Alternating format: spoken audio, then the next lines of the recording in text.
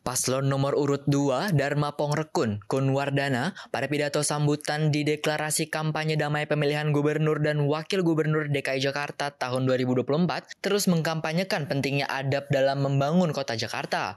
Kemudian dia memulai pidatonya dengan filosofi nomor 2 sebagai nomor urutnya.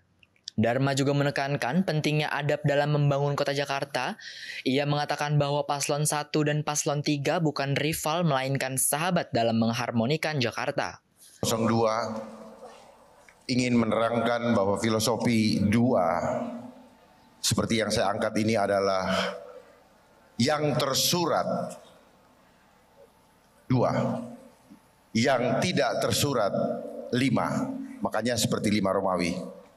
Dua sila kedua keadilan sosial bagi seluruh. Maaf saya ulangi, iya sila kedua, kemanusiaan yang adil dan beradab. Dari Jakarta, tim liputan dan kru yang bertugas melaporkan.